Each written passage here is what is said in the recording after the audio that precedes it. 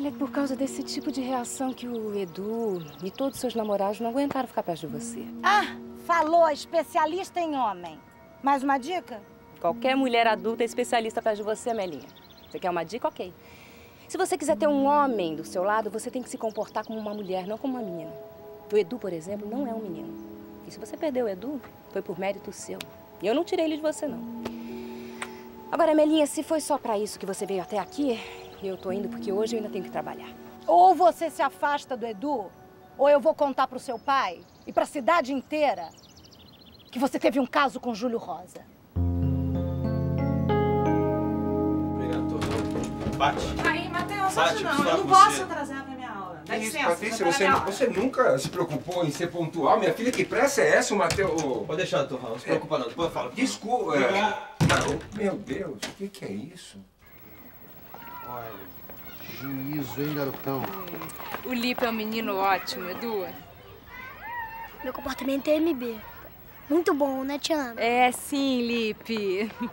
Carol! Hoje veio com o vovô e com a vovó. Bom dia, Ana. Bom dia. Bom dia, professor. Bom dia, reitor. Bom dia, dona Madalena. Bom dia, meu filho. Como é que vai? Ótimo. Você que é do chefe, pai. É sim, meu filho. Esse é o reitor da universidade, o senhor Ronaldo Rosa. Prazer. Felipe Feitosa, filho dele. Muito prazer, seu Felipe. Prazer meu. Tio Edu, já nasceu alguma coisa na horta da gente? Ih, Edu, as crianças não param de falar na horta. É verdade, a Carolzinha só fala nisso. As crianças adoram mexer com a terra. E não são só as crianças, não. Eu também adoro plantar, adoro horta. Que bom. Então vou te mandar uma mudinha do meu pé de amora. São deliciosas. Você vai gostar. Ótimo. Bem, pai, tô indo. Vem, Carol, vamos! Tchau. Tenha um bom dia, professor. Obrigada, o senhor e a senhora também. Na época certa eu vou lhe mandar a mudinha. Que maravilha. Muito obrigado, dona Madalena. Um bom dia. Bom dia, professor. Bom dia, reitor. Eu acho tão bonito ver os dois caminhando de braços dados. É.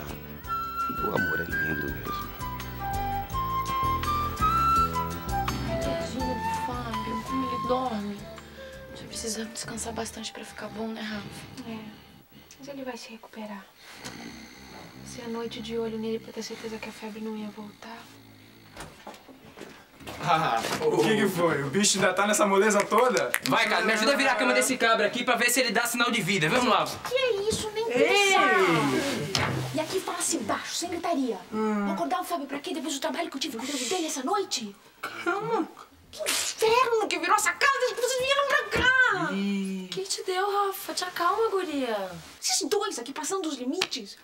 Eu falei que eu era contra a permanência deles aqui. Depois era só por um dia. Eles continuam morando aqui nessa república.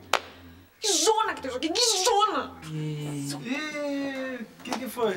Já tá rolando barraco essa hora da madrugada? É, ó. Perdi alguma coisa? Só a Rafa pagando geral. E aí, você tá vindo da onde? Meu irmão, nem te conto, cara. Quase que o pai da parte me pega na cama com a filhinha. Aí eu pulei da janela, lá embaixo que eu encontro, Matheus.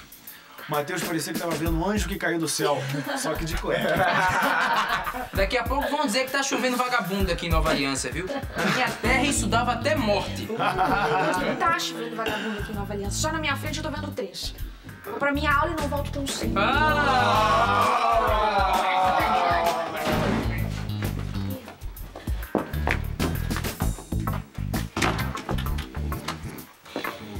Piro a acordar, só vai ter por perto. O que foi que você disse, menina? É, na minha festa de noivado eu não dei nome aos bois.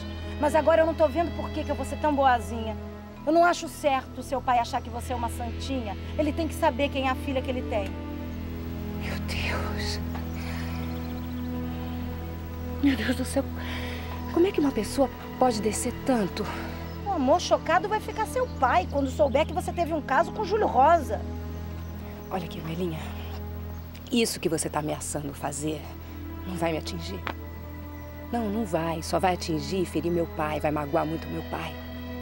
Você não tem nada contra ele, ele é seu padrinho. É, mas só que agora eu não posso me dar o luxo de pensar em ninguém. Quem devia ter medido as consequências do que fez foi você. Agora, se o que eu vou contar pro meu padrinho vai deixar ele arrasado, a culpa é só sua.